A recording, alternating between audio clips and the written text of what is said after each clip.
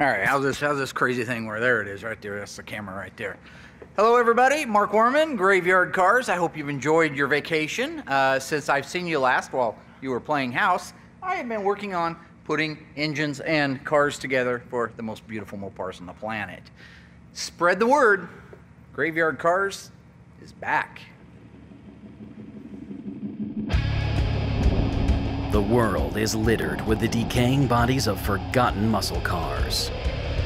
At Graveyard Carz, a restoration shop in Springfield, Oregon, no car is too far gone or past its expiration date to get a new lease on life. Leading the group of Mopar morticians is Mark Worman. My name is Mark Worman and I own Graveyard Carz. What we do at this shop is we restore Mopar muscle cars to exactly the way Chrysler intended them to be on the day they were built. Anybody in the world can bolt aftermarket parts on a car, order a truckload of parts, put them on, put a bow on it, and say, there you go, it's done. But only a handful of guys in the world can do what we do. You may not like that, you may not like me, but that doesn't change the facts. Heroes and villains, sinners and saints. If you didn't have Mark Worman, you'd have to invent him. At Graveyard Carz, you won't find many mods or aftermarket parts, but you will see a team of hardworking technicians dead set on restoring these cars back to their factory specifications. I'm Will Scott, the painter here at Graveyard Carz. I cover everything from paint work to light body work and doing everything we can to make sure these cars look perfect. I'm Dave Ray. My job here at Graveyard Carz is uh, the assembly part of the process. As soon as it comes out of the body shop, uh, and all the drivetrain suspension gets put in it, uh, I basically build out the car. My name is Alyssa Rose, and I have about a thousand jobs here at Graveyard Carz. I am human resources, I'm a historian, I help keep inventory of all the cars. I'm also apprenticing out in the body shop. My name's Royal, here at Graveyard Carz. I kind of do anything that needs to be done. Lately, I don't do much. Sorry. I'm really tired, so it's, it's hard for me to keep a straight face. Um, my favorite color is green. Dark green metallic, GG1. Mark calls it baby deep green. To restore one of these cars, Mark and his team decode its vehicle identification number and build sheet. To do this, they use original equipment reproduction parts to replicate its exact appearance the day it rolled out of the factory. This next season's going to be great. We got the shop rolling. I mean, we're, we're got it over a year underneath of our belt. We're still getting out some little kinks. We have some deadlines coming up that uh, are, are worrisome for any shop owner. The deadlines, I, I'm sure, are going to be tighter. We got a whole graveyard full of cars. As the deadlines get closer, typical fashion out of Mark, I'm sure he'll be out here going back crazy. Everything will get kind of a mess. There is an amount of stress that comes with that and making sure that everything's done the right way and, you know, we're not just pushing cars out of here and getting them done by their deadline, but that everything's still getting done the right way. So do or die time. I mean, we're either going to get these cars done on time or we're not. And if we don't, that's definitely going to affect our reputation. There is no tolerance for failure. You make yourself push harder and faster, even though there's plenty of time. And that is when mistakes can happen. Mark lives on the deadline edge, so it's nothing new, but we'll get it done. We always do. The most powerful cars can't live forever, but a limited number of Mopar muscle cars will get a second chance at life. On this episode of Graveyard Carz, the ghouls team up to install the exhaust for our 1971 Phantom Cuda. These go in real easy. Now, Tom from Accurate Exhaust that makes these, his daughter puts one of these on in half an hour by herself. What are you trying to say? Will preps to paint the very difficult FK5 burnt orange on a 1970 Plymouth Cuda. Um, you really don't know how a transparent color is. I mean, you do a spray out card, and yes, that'll tell you a little bit, but until you get the car sealed and get that first coat on, you really see what you have to deal with on how many coats it's going to take to cover. Dave and Alyssa race to wrap up the back end of our Phantom Cuda. Put in the exhaust tips, swing the gravel pan in there, and put all the rest of the hardware on. Okay. And Mark receives three brand new restorations that are in such great condition, the team is tempted to take them on a road test. Saying, you know, back in the day, uh, out on the cruise strip, you'd see cars like this, I- exactly the way they look. Coming up on this episode of Graveyard Carz. They're coming to get you, Barbara. It has been established that the buried dead are coming back to life. I'm Mark Worman, And together we bring dead muscle cars back to life. To exactly the way they were on the day they were born.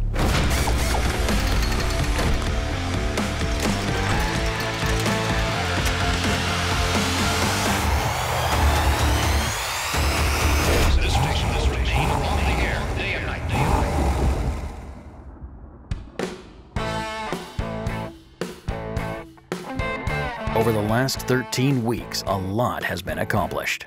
Work is nearly complete on the one of one 1969 Hemi Roadrunner convertible. Bill Goldberg was given a jackhammer reveal for his stunning 1968 GTX convertible. And soon after, Brett Torino's ultra rare one of seven 1967 Hemi GTX convertible was finished and delivered. All the while, the car that started it all, our legendary 1971 Phantom Cuda, received its first coat of paint and a newly built out, date correct engine, making it the first time in 30 years that this car has had a running motor under its shaker hood. And to top it off, our gold 1972 Charger's first test drive went flawlessly and was delivered to yet another happy customer.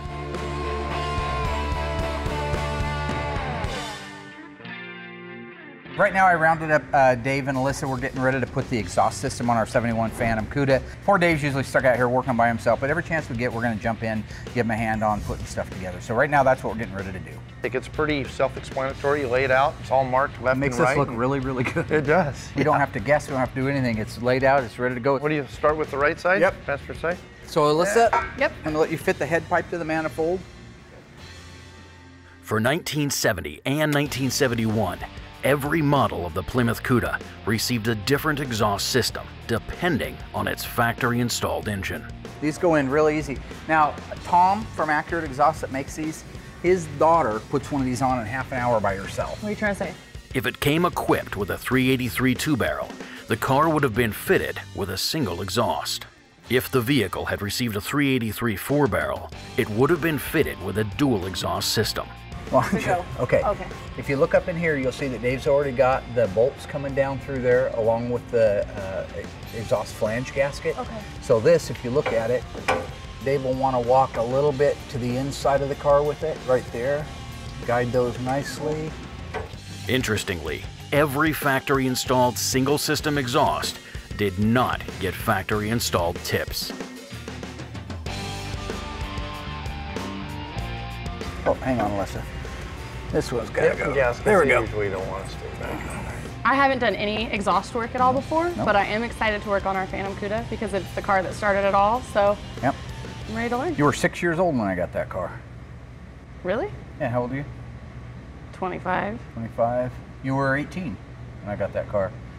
Just a kid wrecking cars, carelessly wrecking cars. Oh my For gosh. d- dodging phantom cats that ran. A- hey, that's kind of clever. Phantom Cuda, and you dodged phantom cats that didn't exist because you were fighting with your boyfriend, Tuna Boy. That right there. So this one with the serrated teeth, Oh, it goes cool. on like that right there. So go ahead and put that on. Oh, okay. Okay, There we go. Got her started. Yep. There you go, Alyssa. Here, take this, Alyssa, right there. So this slides over this right here, and then it uses a clamp to hold it in place. And that there you'll actually just put on there. On this end of it. Yeah, and that should slide right over that. And then this, we're gonna turn to the outside just a little bit.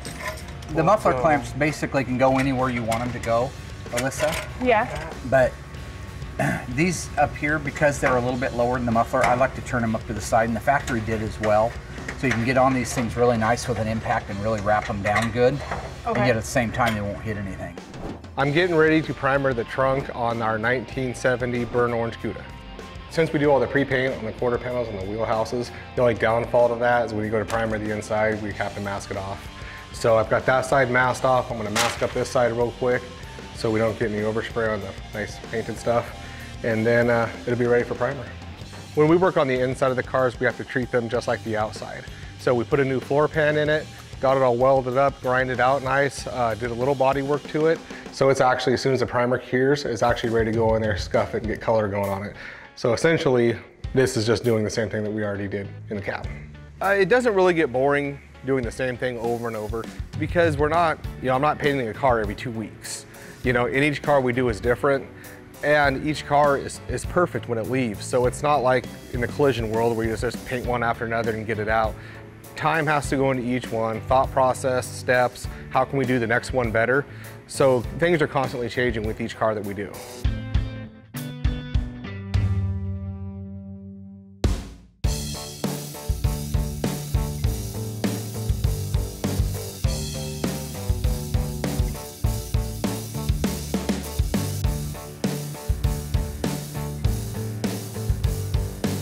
I just finished the primer. I only put two coats on there.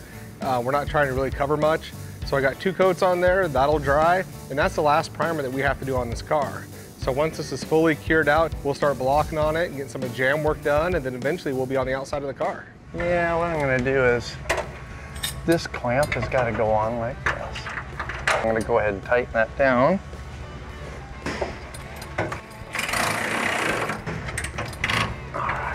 And this one's just gonna stay straight on? Yeah, and then we have to slide another pipe in there, so we don't wanna tighten that yet, but it should hold that Yep. setup in there. This is the over axle pipe. And it should be marked right hand and left hand. Okay. So this one's got to go over the axle. So the shape of this is very unique. You see all the bends in it. Mm-hmm. It's not just a U shape. It comes this way and goes that way and then goes up over. As you'll see when he puts this up in there, Yep, we'll set Dave. that up in there. There's not a lot of room around Is there. that all we got on that jack mark or no? I can come down some more. Yeah, we'll have to play with it here and see. All right. Is this the next piece? Yep. And that'll go right here. Keeps it. And this here. So after this, do the tips go on next? Or do we save those for last? Uh, the tips will actually save uh, when we do the rear valance. Unfortunately, on the CUDA, these there's a cutout in the rear valance that the actual exhaust tips go through. Oh, okay. So we're gonna build out the back end, put the back bumper on, then we'll do the valance, and then we'll do the tips. So we're just basically hanging the exhaust up to the exhaust tips. Okay. Hey, that looks nice. Hey! Yeah. I thought that was a tool in There your he hand. is. The prodigal son returns just in time to take credit for the job. Hi, Royal. I got here just in time today to help put the last half of the exhaust on with Melissa and Mark and Dave. Hi, Royal. Oh, there we go. Hey, this Look is my that. specialty. Where you been? Working. Working on my other two jobs. How come you weren't here this weekend when we were moving stuff around and moving parts from one pod to another and sweeping the parking lot and pressure washing? How come you're here Oh, for that was what the free lunch was. son of a?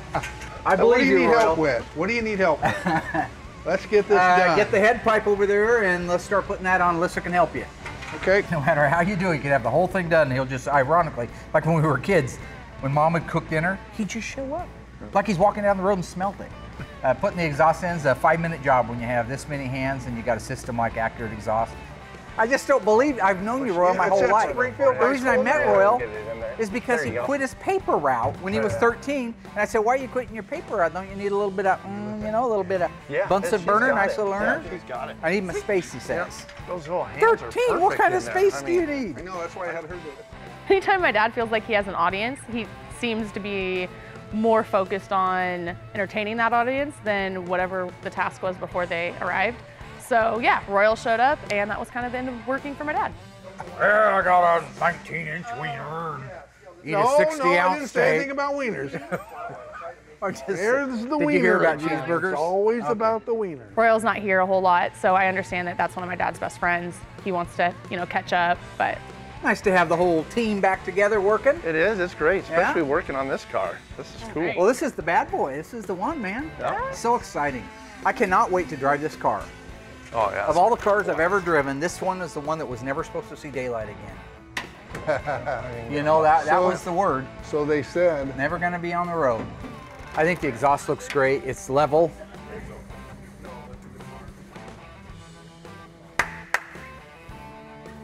You got my seal of approval. It looks pretty cool, huh? Yeah.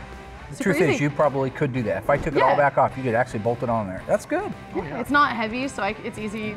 Yeah, Easy to work with and easy to work with. I can could do it by myself. winning team. That's what you get out of graveyard cars. Yep. Numero. Everybody give him the grin. Royal. I'm Getting ready to start painting our 1970 burnt orange Cuda. It's the pre-paint, so I have just the body in the booth right now, so I'll get the body sprayed, the jams done at the same time. Mark struggled with this color, so I'm a little nervous if it's gonna be hard, but I'm pretty confident I can get it to come out great. From this point forward, it's gonna be a struggle in every aspect. Mark did the color himself on the burnt orange Charger. Uh, that, that took a lot, and trying to duplicate that exactly isn't the easiest task, on top of the fact it's a hard color to paint, so I think it's gonna be really challenging from this point forward.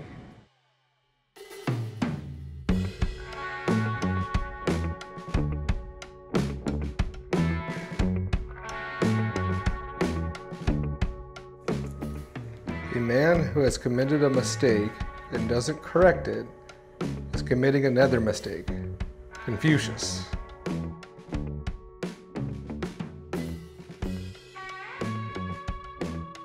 I don't, I have no clue why he put a note on the toner. I don't even understand what it means.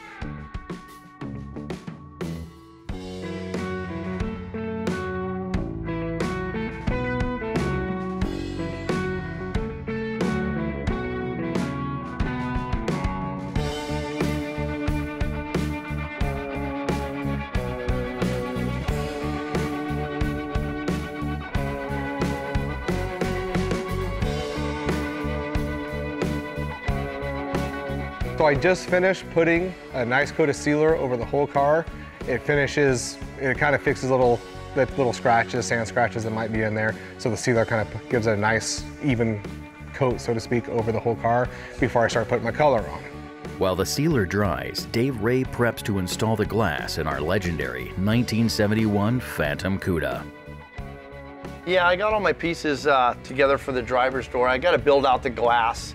Uh, the glass will actually take, uh, you know, some stops actually in the glass. It takes a couple little bushings that the lower track screws to, as well as a couple little slides that I got to put on the glass. But I go ahead and put in my regulator and my rear track. I just kind of lay uh, kind of in the corner of the door, kind of get those pieces in there and kind of out of the way.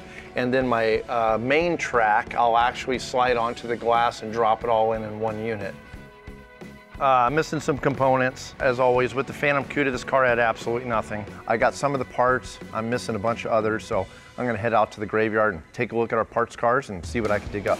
We have our 1970 Cuda 440, uh, 440 uh, six pack. six barrel Plymouth. Same thing. Yeah. Um, and we're gonna so this car is going to FK5 burnt orange. Gets a hockey stick too. So we're gonna kind of go over the pre-paint, why we do the pre-paint, Yeah. uh, just the fact that I really don't agree with doing the pre-paint at all, and I've never really fully understood why he insists on us doing a pre-paint. Well, no, I mean, first of all, don't confuse people, okay? This is a tech tip about why prepaints are important, and why I demand them. We could talk about the fact that it creates an undercoat for the final paint, or we could talk about why we're really doing it. Because You. This is your baby. This is your enchilada. No offense with the hat. This this is your baby, all right? Your bambino. pre-paints are my fault? Absolutely. Pre-paints have nothing to do with me. So I think is what the next car that we do, we'll just try to do without. 2007, young guy, painter working for me, 69 Dodge Coronet RT 440 four-speed car. This is a Ram Charger I was a car. kid. I says to him, make sure that when you paint these panels, that they all match each other.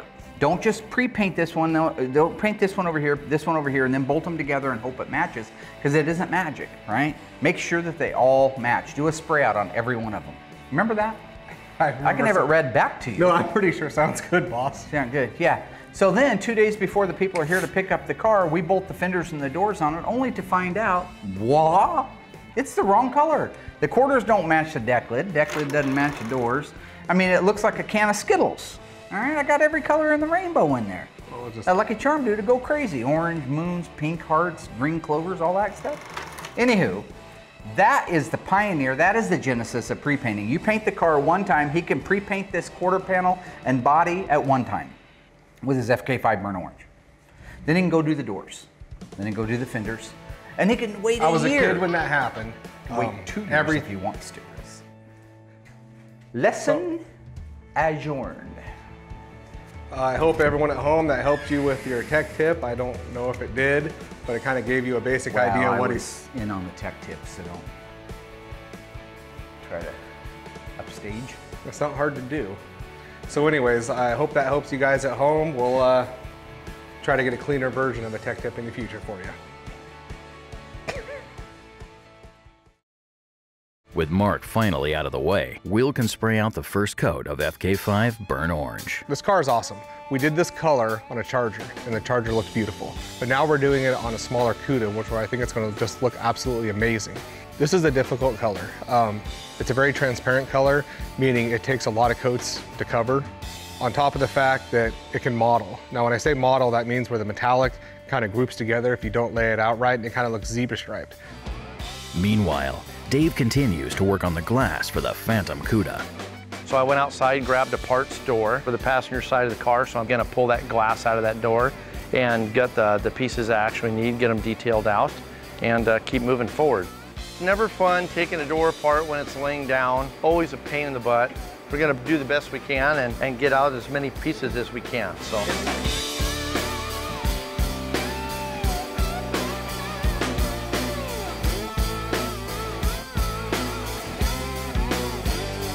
The most time-consuming part about doing the glass is detailing all the parts. Uh, we don't buy all brand new parts and just take them out of a box and put them in the car. We use all original equipment. Everything in these doors uh, involving the glass and the mechanisms in this car all 1971. That's the whole key, is to try to make it look as original as we could and make it last.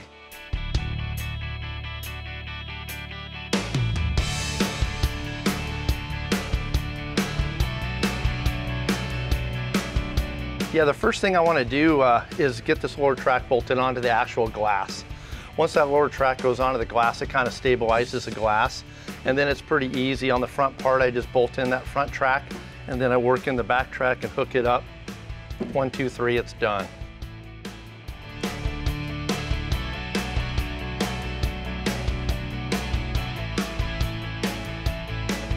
Mark will look at it, and he's gonna be a little distraught that it went so easy for me. I've spent the last few months getting the machine shop, the engine assembly area dialed in. Uh, we've got lots of parts here. We've got pieces in stock that we never had before that are allowing me to be able to build these out over a course of a weekend and get ahead of the game. In fact, I'm about seven engines ahead of the rest of the shop. So what I want to do is I want to get over to the body shop and help them. The body shop is really kind of our uh, bottleneck right now at Graveyard Carz. They need some direction. They need some, uh, well, frankly, they need a little pick-me-up. You know what I'm saying? A little motivation. And that's what I do. So, don't you just go put a couple more posters out there for them. you know, motivational posters. I think they like the nickname, so I'll probably come up with some of those. But, but besides that, I'll be working desperately hard on helping them dial in the body in the paint shop area. I want her to write down the notes because I know where I'm at right now on these things. I want to be able to tell that to Mike so he can finish putting everything together in here. Instead of him trying to guess where we're at, there will be a nice punch list for him to be able to finish out the rest of these assemblies. Okay, this is our 69 and a half A12 for Johnson, so you can just put down 446 pack Johnson. Okay. We have two decals that need to be ordered for the air cleaner. I have photographs of them in the file. Decals for air cleaner. The 69 and a half A12 engine is nearly done. I had a chance to work on that last week. I really got to a point where I was just waiting for the distributor to come back from Harms so we can put it in and the spark plug wires to get in from Classic. And once that's done, other than a couple little things, that complete drivetrain will be wrapped up. Okay. Distributor, spark plug wires, and that one's done. Everything else is on this one. We even got the date coded alternator on there. That's how we roll. Just put Kowalski, How do you spell that? K O W A L S K I, Kowalski. According to the director of the film Vanishing Point, it was 20th Century Fox's studio executive, Richard Zanuck, who came up with the idea of using the brand new 1970 Dodge Challenger RT. Doesn't have a first name. That's the character from the movie. Remember? Cleavon Little was talking to him on the radio. The last free spirit blooded American. I don't know, he gets crazy. He's Cleavon Little. Featuring the Challenger center stage, endeavored to return the favor for Chrysler, providing Fox with rental cars for only a dollar a day. The drivetrain is going to be done for it as soon as we get the transmission back and Mike finishes building it out. It's almost done anyway. Five Alpine White Dodge Challenger RTs were lent to the production. Four were equipped with manual 440s, and the fifth was geared with an automatic 383. We do have a correct Dana for it that still needs to be built. Got an 18 spline transmission getting custom built from Brewers with a two-speed overdrive in it because we're going to make the drive from Denver, Colorado to San Francisco in the same time Kowalski did in the movie. So we want this car to be able to run a buck 60. Vanishing Point premiered in January of 1971, and director Steven Spielberg named it as one of his favorite films. Yeah, this is a lot. My dad's just rattling off numbers. I don't even know what I'm writing down, honestly, anymore. I don't know what's going on. I'm confused. Okay, so tran transmission emperors. Brewers. Yes. And then once that's on and transmission cross member, that'll finish that drivetrain out. What kind of car is this gonna go in? This is going in a 1970 Dodge Challenger RT Alpine White. EW1's the paint code. Made famous by Mr. Kowalski in a movie called Vanishing Point. Our 1970 Dodge Coronet RT 426 Hemi 4-speed, it's all done for practical purposes. PCV hose is already on. I want him to call Tony D'Agostino and double check the routing of this hose right here. Somehow it's got to get to there and I need to know what the OEM correct routing is for that.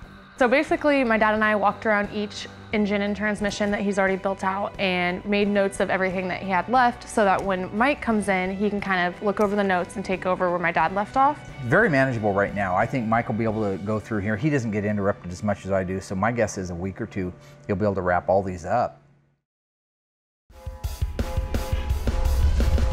Yeah, we only have about a month actually until we're supposed to have this car done. So we're getting close to the deadline. Um, it's really exciting that we're actually gonna get to work on it finally and get some of the stuff on. We gotta do it kind of quick, so Yeah. hopefully we get it done. All right, we got a rear gravel pan, got a rear bumper, got our exhaust tips here. So we're basically gonna put the bumper on first, then we're gonna hang our gravel pan from these two little center points right here. Okay. Because if we put the gravel pan all the way on, we're not gonna be able to get our exhaust tips in there. Okay. So we'll do this first, these two, put in the exhaust tips, swing the gravel pan in there, and put all the rest of the hardware on.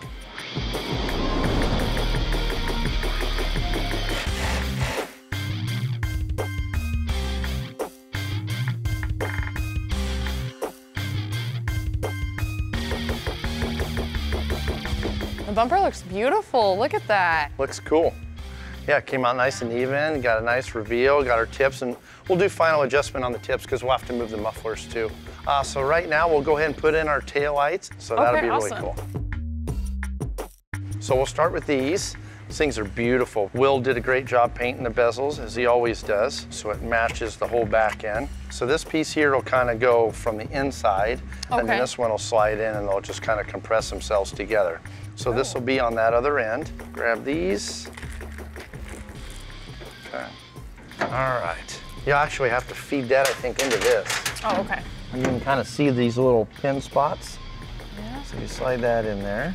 We already got our gaskets and everything on there. How does it look? Pretty Looks good? Yeah. No foam showing or anything. Nice.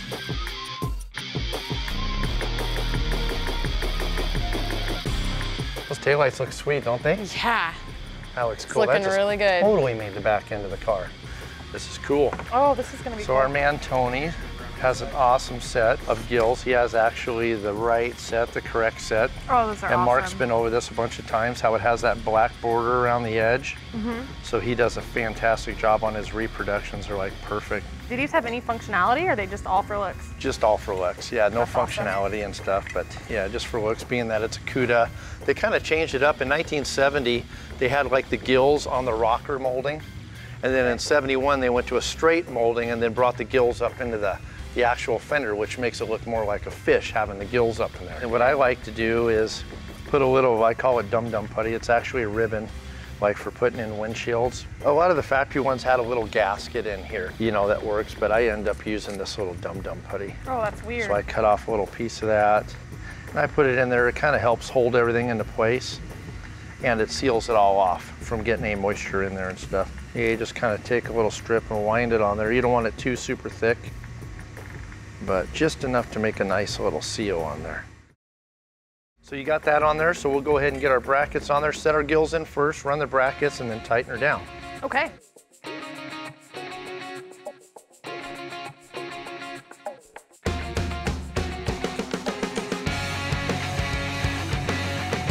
That doesn't look too bad, huh? That is like one of my favorite features on this car. That made it, It is, for huh? sure, yeah. 71 CUDA billboards and the gills. That's the only year that did it, and that would be the only year I'd want. I love the 71 CUDA. Okay, so now we'll go ahead and put our mirror in. This particular mirror, it just looks so plain because it's just a basic chrome mirror. You've seen that on a lot of these cars. These 446 barrel cars, four speed, uh, track pack car, just basically made to go fast forward. So a lot of these guys didn't want to pay the extra money for a fancy mirror, so they would just get whatever one came with the car as like the base price of the car because a left-hand mirror is required by DOT. You had to have a left-hand mirror on the car. So you see on some of the cars, they have the cool painted mirrors on both sides, or they have a chrome uh, remote mirror where you can actually adjust it from the inside. But I mean, how much could it cost to add another mirror though? This is a 1971 car and equipment price book. I think it was like page 55 or something that the, the mirror was on. This would be the standard mirror, so it'd be no charge. So now the first upgrade would be, what is that, like a G31? Racing mirror remote control left, chrome, What's the price on that one? $14.95. Wow. So to have a really cool chrome racing mirror, which looks a heck of a lot better than that, remote, 15 bucks. See, well, I guess back in 1971, 15 bucks was a lot of money, was a big Guess deal. so. Let's see. Engines right here. Okay. Well, let's see if you went to a 383. Okay, that is your standard engine. Mm-hmm. So it was $139 to basically get a CUDA package. Okay. Now this one has a 446 barrel. So the 446 barrel, what was that one cost? 253. So that's quite a bit of difference in money. You know, to go to a 446 barrel. That's The- really cool. The 426 Yep. Hemi was $883 Gosh, more. That was man. probably a big. That's Big a big spender That's a big gonna chunk get that to put the. Hemi in there. So that's why you don't see a whole lot of Hemis. People are like, man, that's a lot of money. So Yeah. I'll, they would definitely go with the 446 barrel because it's a lot cheaper to upgrade to that, and you got 390 horsepower as opposed to 425. So I mean, you're still the kind of in that middle, yeah, ballpark, you know. yeah. That's Yeah, a cool that's- book to this is have. a That's cool book. neat. Yeah. So that'd be something to kind of, It's really interesting to see the prices. yeah, something you know, fun to see- play around Yeah, I wonder what the inflation would be like. Oh, nowadays. in today's day and age, that Exactly. 426 Hemi would probably be like what, five thousand dollars? So I went and looked it up because I was kind of curious, and um, you were pretty close. You said 5,000, and today it'd be 5,200. Wow, that's not so, too bad. Yeah. So I was kind of curious about some of the other ones. Let's quiz you, Okay. just for fun. What do you think the CUDA package was? So back in 1971, it was $139. What do you think it'd be today? Oh, with inflation, then oh, like 500 bucks. 825. Okay, how, what do you think about the 446 barrel upgrade? 446 barrel It was upgrade. $253. Oh, back in 1970, it was that much, huh? Wow. Ah, so that's got to be over a thousand bucks. Yeah, $1,503. Wow. 30 cents. Jeez. Definitely do it though. The six pack. I would Still definitely do it. that today. Yeah, still worth it. Kind of cool how you could just walk in and customize your car. Yeah, yeah, and they Like, had it, so they can. that's Yeah, you can order it, you know, from the factory, and he would put whatever options you want on there. Uh, the car's looking amazing uh, right now. I mean, it's we got the gills in, and got the back bumper on, rear gravel pan, exhaust tips. I mean, we did a lot of stuff. All the marker lights. I mean, it looks cool. All right, fun, fun, fun doing the body plugs.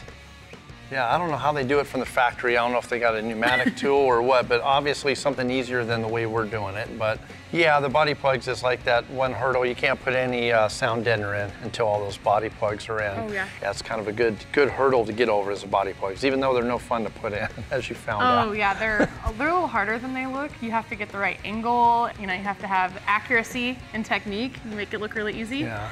Got myself a couple times, but they're in. Yep, So yep, that feels good. for your first we're ready time, for the yeah. yeah, and we're ready for the interior. So that's really exciting. Uh, right now, I'm out in the graveyard. I'm waiting for Mike and George to get back. I recently took in a restoration on a 1970 CUDA 446 barrel four speed car. Really nice. For all practical purposes, almost looked like a driver type quality. But the, the gentleman who sent the car to me, his dad had given it to him. So it is here for a complete restoration so that it can look the way it was uh, on the day it was built. But additionally, he had two Barracuda convertibles, which I purchased from him at the same time. So right now I'm waiting for him to pull in so I can check out all the hardware. Bob Curious George! Look at that. Look at the lights in those. That's the coolest front end on the planet right there. Those park lamps up in the grill. Bob Curious George, always changing teams. You're talking about a Barracuda convertible 70 and 71, the only years they were available Wow, in the e-body. You're talking rare, rare stuff anyway. Are they as collectible as a Hemi car? No. You get down to like the Barracuda 318 3-speed, they only made 125 of those cars total. Uh, on the blue car, the Gran Coupe, they actually made 381 of those. So still very, very rare compared to the cars of the day. Oh, the badges are on it. I thought they weren't. I love those. That's the Gran Coupe crest. Look at those wheels. Tell me that isn't 1979. Polyglass tires, 8-inch rims in the back, 7s in the front. Look at the dish on that.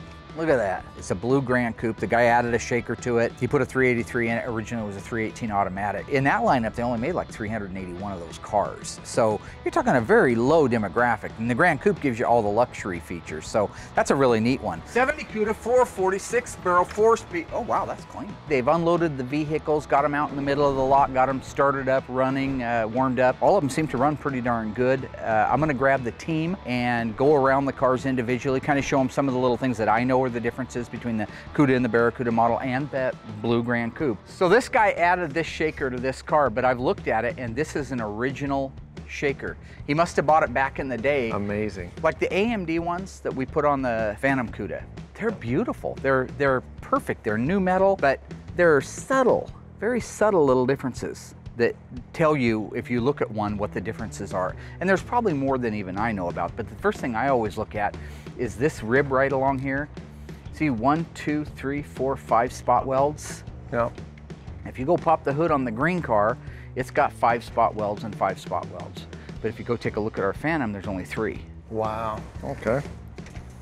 The difference in the metal and the way they stamp them today, you see this wrinkled area right here? Oh yeah. The metal had to go somewhere when they stamped it. Today's, they're cut, they're not stamped, so they don't have these. So if you go look at our Phantom, same basic shape, but you don't have these ribs in it's just there. smooth. It's just rolled smooth, right in. glassy smooth. Yep. That's really cool. And you can see it even protruding right there Yep. too. Another one is this mark right here. If you feel right there, you have a little bit of a bump from the transition from this and the sheet metal all moving around. Yeah. The aftermarket one is just smooth as can be through there. So those are subtle little differences. You see this is smooth here. There's no, there's no indentations here. All right, this is a 70 hood.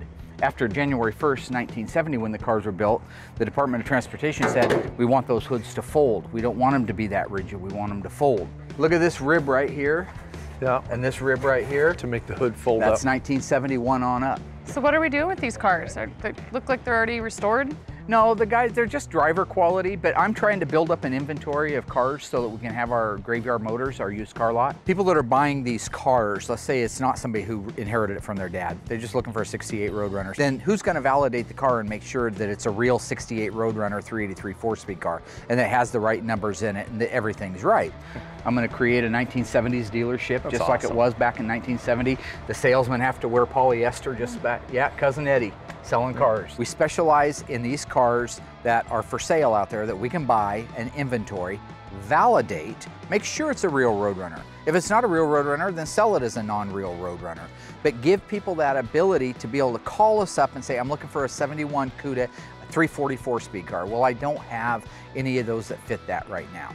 What I do have is I have a 71 CUDA that we can make into a 340. It's just another facet that I'm looking into doing. The two Barracudas, some other cars that I bought around here. So is the green Charger going in this inventory to sell? Well, thank you for asking, Will. Yes, it is. no, that's funny. It's, it's all funny. but it wasn't for Mike? sale before that. No, no. You said no, you were going to be buried in that car. Right. Rewind. Right. Hey, whoever buys it's going to have to have a gun and a mask because it's not for sale. I don't know how many times I have to say that. It's not for sale. It is not Let's for get a we'll get a picture of it loaded up. Okay, you know what? Just for that, they'll bury me in the son of a. I'm calling my attorney right now, and I'm having it put into my will. Buried in I that needed car. cars for inventory. That's a perfect car for the inventory. This is the way the cars looked when we were in high school. So the ones that we're redoing now, we're redoing for nostalgia purposes to put them back the way they were on the assembly line. But every kid in high school drove a car with great big Cragars or appliance or slotted mags and meats hanging out past the fender wells, chewing up the back of the car. Back then it was all bias ply. These are still bias ply. So this is kind of that look that every kid had when he went to school back in the 70s. It's awesome. Yeah. A bias tire design allows the tire's body to flex easily, providing a very smooth ride on rough surfaces. However, it came with a significant disadvantage, as the tire would lose control and traction at high speeds. In 1967, Goodyear created the Polyglass tire, which was a bias belted tire equipped with a wider tread and belts made of fiberglass. It was a safer and more reliable tire design, which began appearing on passenger cars like the Plymouth Cuda in the late 60s. However, the Polyglass tire and its competitors were eventually replaced by steel-belted radials. This one, the manual top 318 three-speed, this is the entry level. If you wanted the basic, most inexpensive Barracuda convertible on the planet, that's the car. Manual drum brakes, three-speed transmission, manual top. But then you get over to this car, which is a couple interesting things is, now on the CUDA package, again, this is a BS car. BS is Barracuda, S is special, meaning this is the CUDA, right? Standard on the CUDA in 1970 were these hood pins. Standard. If you got a CUDA, you got hood pins. But these running lamps, these road lamps, factory calls them road lamps, those were standard in the actual CUDA package in 70, whereas in 71 they were optional. Yep. The gills, the rocker gills, those are uh, standard on all 70 CUDAs, CUDAs, on yep. a CUDA model. The Gran Coupe standard had a louvered one that you see on there. Yeah, it's got the ribs that And then the run over there. Barracuda would have had nothing there. You could have added it.